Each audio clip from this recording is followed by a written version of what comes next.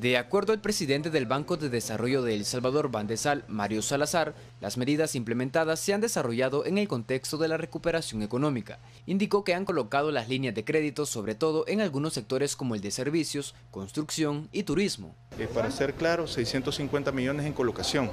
Eh, para las micro, pequeñas y medianas empresas. Nosotros mantenemos eh, tanto productos de primer piso, de segundo piso, son productos financieros, es, decir, líneas de crédito para atender a las micro, pequeñas y medianas empresas. Asimismo, contamos con eh, garantías para poderles apoyar en el acceso al crédito.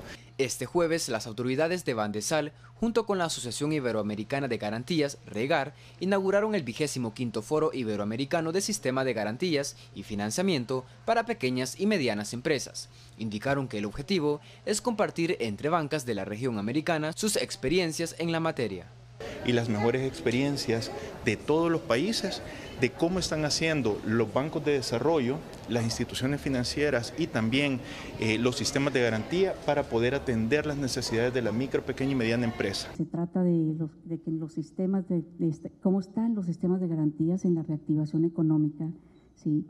y cuáles son los desafíos y lo que necesitamos para que eh, la pequeña y la mediana empresa salga adelante. El Fondo de Garantías, de acuerdo al representante de Bandesal, facilita a los micro y pequeños empresarios el acceso al financiamiento de sus proyectos. Para Teleprensa, Canal 33, Jonathan Vázquez.